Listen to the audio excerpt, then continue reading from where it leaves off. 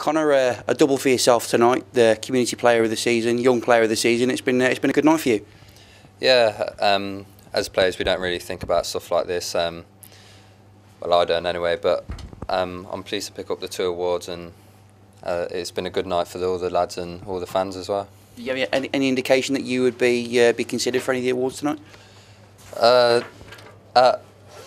I thought about the community player of the year. I might have a chance because I made it clear that uh, I wouldn't mind doing any extras, and I just think uh, it's good for the community and the kids just to, get, to give something back. And I've been in their position, especially the kids when you go to the schools.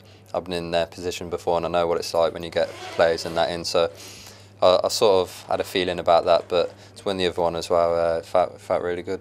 Going on to the Young Player of the Season award as well. I know when the, the coaching staff were, were speaking about names and yours popped up, I thought, well, no, he's, he's, he's, he's too old for that.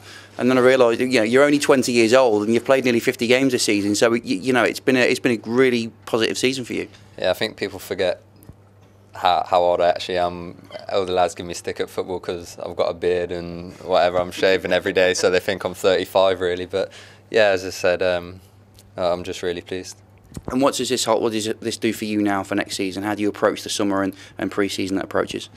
Well, the the summer I'm going to have a, a, little bit of time off now. I've got a, a couple of holidays booked, one with the family and, and one with uh, Jordan and Cyrus. So I'll have a little bit of downtime and then I'm just going to be working in the gym and doing a bit of work on my weaknesses. Um, hopefully come back to pre-season uh, as, as a bit of a better player and in good shape.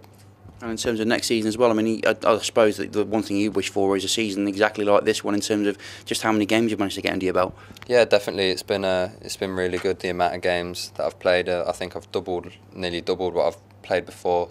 Um, my highest um, games that I played in season, but I, I just want to be up there fighting um, in the playoffs at least. And if we didn't have the ten points this year, obviously with the momentum we had, it would have been different. So it was a disappointing end, but next season we want to want that same start to the season, but we want to carry it through.